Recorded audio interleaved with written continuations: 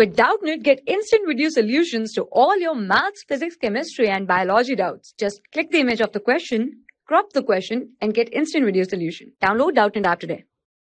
The RMS value of uh, potential difference V shown in the figure is so they have given you one graph where you have a variation of uh, V voltage with respect to time and seeing to this you can write the values of range of values between the time interval they have given as 0 to T by 2.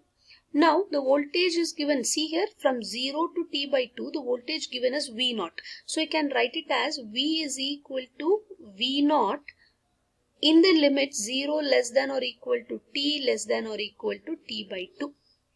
And in the next part, that is from t by 2 to t, for one complete cycle, you have to take it from 0 to t, right? So the remaining half cycle from t by 2 to t, it is, there is no wave, right? So that is 0. So v will be equal to 0 between the limits t by 2 less than or equal to t less than or equal to time period t. So in this you have to find the RMS value. So to find RMS value, what you have to do? RMS value of voltage that is VRMS will be equal to root of mean of the square that is 0 to t V square dt divided by the time interval t. Okay. Now in this we will split this because 0 to t have two different values right. So we will write this as 0 to t by 2 V naught square into dt plus the next time interval is between t by 2 to t it is 0 into dt divided by t. Okay?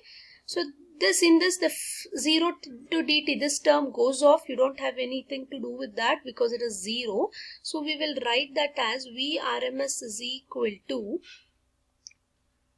inside the square root it is 0 to t by 2 v square dt divided by t. That's all you have to solve it.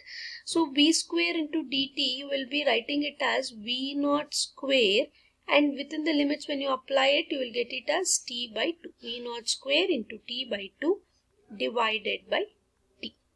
This whole thing is under root so finally, you are able to get the value of Vrms and Vrms will be equal to V naught square. When you take it outside, you get V naught. Here T and T gets cancelled. So you'll get it as V naught into 1 by root 2. Or you can write this as V naught by root 2. So Vrms will be equal to V naught by root 2. So option C is the correct answer. For class 6 to 12, IIT JEE and NEET level. Trusted by more than 5 crore students. Download Doubtnut App today.